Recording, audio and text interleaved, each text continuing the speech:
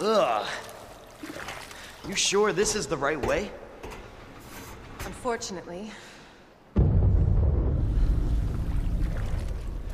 Wait there.